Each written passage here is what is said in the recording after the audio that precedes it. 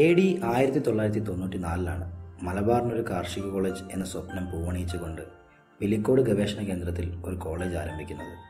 പിന്നീട് ആ സ്വപ്നം പഠനക്കാടെ സുന്ദരമായ ക്യാമ്പസിലേക്ക് പറച്ചു നടുകയായിരുന്നു. എൻട്രൻസ് എക്സാം കഴിഞ്ഞ് സ്റ്റെതസ്കോപ്പ് തൂക്കുന്ന സ്വപ്നം വിഫലമായപ്പോഴാണ് പലരും ഈ പടവുകൾ കയറിയത്. കാസർഗോഡ് എന്ന ജില്ലയെപ്പറ്റി പത്രവാർത്തകളിലും പാട്ടുകളിലും മാത്രം കേട്ടവരായിരുന്നു അതിൽ ചിലരെങ്കിലും. അഡ്മിഷൻ എടുത്ത് ഹോസ്റ്റലിലേക്ക് നടക്കുമ്പോൾ ആ ജീവിതം തരാൻ പോകുന്ന സ്വാതന്ത്ര്യവും സീനിയേഴ്സിനെ പറ്റിയുള്ള വേവലാതിയുമായിരുന്നു പലരുടെയും ഉള്ളിൽ. ഹോസ്റ്റലിൽ സീനിയേഴ്സ് നടത്തുന്ന പരിചയപ്പെടലുകൾ പോരാഞ്ഞിട്ടാണ് കോളേജിൽ വെച്ച് നടത്തുന്ന ഫ്രഷേഴ്സ് ഡേ. ഒരു മാസത്തോളം നീണ്ടു നിൽക്കുന്ന ഈ പരിചയപ്പെടലുകൾക്കൊടുവിൽ അവരിൽ പലരും നല്ല സുഹൃത്തുക്കളായി മാറാറുണ്ട്. അന്നം ലഭിക്കാൻ ഏതു നാട്ടിലും കൃഷി അത്യാവശ്യമായതിനാൽ ഭാരതത്തിന്റെ പല കോണുകളിൽ നിന്നുള്ളവരുണ്ടായിരുന്നു ക്ലാസ്സിൽ അവിടെ എന്തരപ്പി മുതൽ ക്യാഹെ വരെ മുഴങ്ങിക്കേട്ടിരുന്നു. സുന്ദരികളായ യുവതികളാണ് ക്ലാസ്സിൽ കൂടുതലെന്നത്. ചിലരിൽ ആവേശവും മറ്റു ചിലരിൽ പരിഭ്രമവും ഉണർത്തിയിരുന്നു. എന്നാൽ ക്ലാസ് എടുക്കുന്നവരിലും പ്രായം കൂടിയവർ ക്ലാസ്സിലുണ്ടായിരുന്നു എന്നതാണ് ഏറ്റവുമധികം കൗതുകമുണർത്തിയിരുന്നത്. എല്ലാവർക്കും അറിയുന്നതും എന്നാൽ ആർക്കും ശരിക്കറിയാത്തതുമായ ഒരു വിഷയമാണ് കൃഷി എന്നതിനാൽ സൂര്യന് കീഴിലെ എല്ലാം സിലബസ് ആയിരുന്നു. നാല് വർഷത്തിനൊടുവിൽ അമ്പേ പാളിപ്പോകുന്ന വിലയിരുത്തലുകൾ സഹപാഠികളെക്കുറിച്ചും ടീച്ചേഴ്സിനെക്കുറിച്ചും നടത്തി മുന്നോട്ട് പോകുന്ന ഫസ്റ്റ് ഇയർ പകുതിയാകുമ്പോഴാണ് യൂണിയൻ പരിപാടികളുടെ എണ്ണം ഉച്ചസ്ഥായിലെത്തുക. പൊതുവെ പോരാട്ടം തേർഡ് ഇയേഴ്സും സെക്കൻഡ് ഇയേഴ്സും തമ്മിലാണെങ്കിലും ഫസ്റ്റ് ഇയേഴ്സ് ഏവരെയും ഞെട്ടിച്ച സന്ദർഭങ്ങളും ഉണ്ടായിരുന്നു.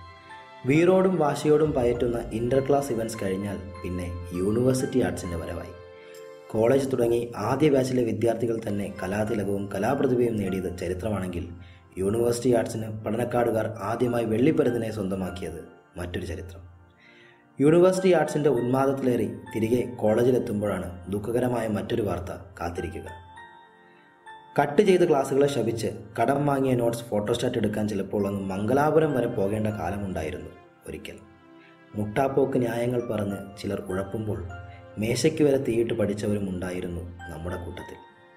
എഴുത്തു പരീക്ഷ കഴിഞ്ഞ് ഈച്ചക്കോപ്പി അടിച്ച റെക്കോർഡുമായി വൈവയ്ക്ക് കയറുമ്പോൾ ഒരു കൂസലുമില്ലാതെ മണ്ടത്തരങ്ങൾ വിളിച്ചു പറയാനുള്ള കോൺഫിഡൻസ് എവിടെ നിന്ന് വരുന്നു എന്നത് ചുരുളറിയാത്ത ഒരു രഹസ്യമാണ്. ആദ്യ സെമിസ്റ്റർ കഴിഞ്ഞ് വീട്ടിലേക്ക് മടങ്ങുമ്പോഴേക്കും പഠനക്കാടെന്ന മായാലോകം മനസ്സിൽ വേരുകളിറക്കിയിരിക്കും. വീട്ടിലിരുന്നാൽ ഇരിക്കപ്പുറതിയില്ലാതെ വേഗം കോളേജിലേക്ക് മടങ്ങുന്നവരാണ് ഏറെയും. കൂട്ടുകാരുടെ അമ്മയുണ്ടാക്കുന്ന ഉണ്ണിയപ്പവും ഉമ്മയുണ്ടാക്കുന്ന ചട്ടിപ്പത്തിരിയും അമ്മയുണ്ടാക്കുന്ന പലഹാരങ്ങളും പ്രതീക്ഷിച്ചാണ് ചിലരെങ്കിലും ക്ലാസ്സിലെത്തിയിരുന്നത്. പിന്നീടുള്ള കാലം ആഘോഷങ്ങളുടെ കാലമാണ്. മാംഗോ ഫെസ്റ്റിന്റെ വോളിബോൾ കോർട്ടിലെ സ്മാഷുകളുടെ മരിക്കാത്ത രാത്രികളുടെ പ്രണയത്തിന്റെ കാലം. സീനിയർ എന്നോ ജൂനിയർ എന്നോ അല്ല ഒരു കുടുംബമാണ് കോളേജ് എന്ന് തിരിച്ചറിയുന്ന കാലം. എന്റെയുമാണ് ക്യാമ്പസ് എന്ന് തിരിച്ചറിവ് വരുമ്പോൾ അതിന്റെ കൂടെ ഉള്ളിലെ വിപ്ലവകാരിയും ഉണരുന്നു. പകൽ വെളിച്ചത്തിലും രാവിന്റെ മറവിലും ക്യാമ്പസ് കണ്ട വിപ്ലവങ്ങളെത്ര സമരങ്ങളെത്ര പ്രണയങ്ങളെത്ര വിരഹങ്ങളെത്ര. വിപ്ലവം നയിച്ചതിന് സസ്പെൻഷൻ വാങ്ങിയവരുടെ എണ്ണവും കുറവല്ല നമുക്കിടയിൽ. നമ്മൾ കൊയ്യും വയലെല്ലാം നമ്മുടെയാണ് എന്ന പൊതുതത്വം അംഗീകരിച്ചതിനാൽ ക്യാമ്പസിലെ പറമ്പും പറമ്പിലെ വാഴക്കുല മുതൽ തേങ്ങാക്കുല വരെ മാമ്പഴം മുതൽ ചക്കപ്പഴം വരെ നമ്മുടേതാണ് എന്ന് വിശ്വസിച്ചവരാണ് നമ്മൾ.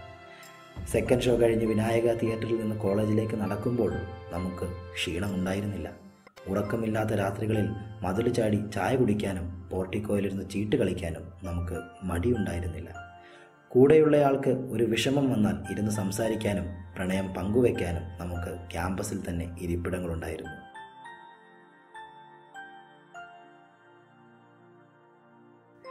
കൃഷി പഠിക്കാൻ വന്നതിനെ ഓർത്ത് ഏറ്റവും അധികം സന്തോഷിക്കുന്നത് ടൂർ സമയത്താണ്. മറ്റുള്ള പ്രൊഫഷണൽ കോഴ്സുകളെ അതിശയിപ്പിക്കുന്ന തരത്തിലുള്ള തീർത്ഥാടനങ്ങളാണ് നമ്മൾ നടത്താറ്. ഒന്നടങ്കം വാങ്ങിയ സസ്പെൻഷൻ മൂലം ഇതിന് സാധിക്കാത്തവരും ഇത്തരം യാത്രകൾ പകുതി വഴിയിൽ വെച്ച് നിർത്തി കയ്യിലും തലയിലും തുന്നിക്കെട്ടുമായി വരുന്നവരുമുണ്ട് ഈ കൂട്ടത്തിൽ.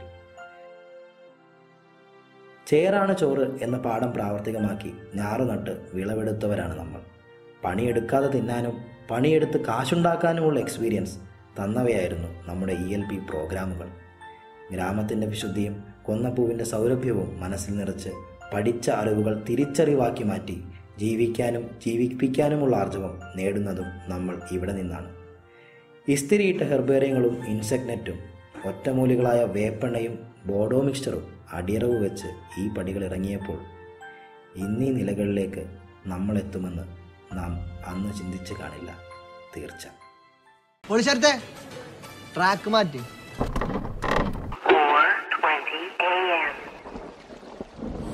4:20